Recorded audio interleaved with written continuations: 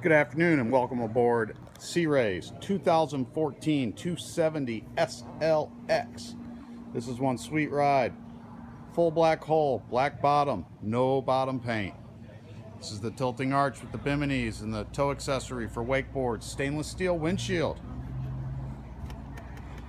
Tritone upholstery with embroidered Sea Ray, drink holders, windlass, four-deck shower, this has the anchor lights as well as the stainless steel anchor option.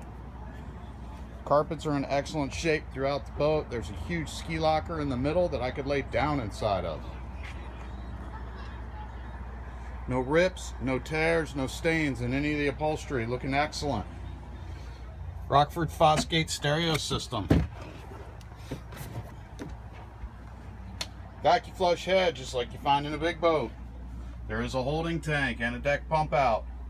Stainless steel sink basin, shower wand, sea decking.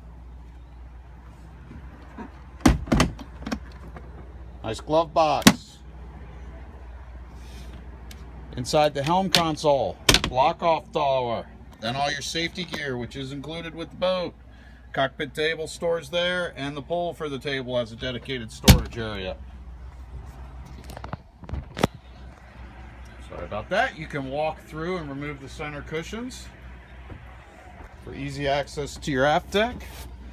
Lift out, lift up, open your sun pad and back. That one in. Storage all underneath this one. Great locker. And then you have your walk through. Sea Ray's beautiful SLX helm with custom stitching. Stainless steel drink holder.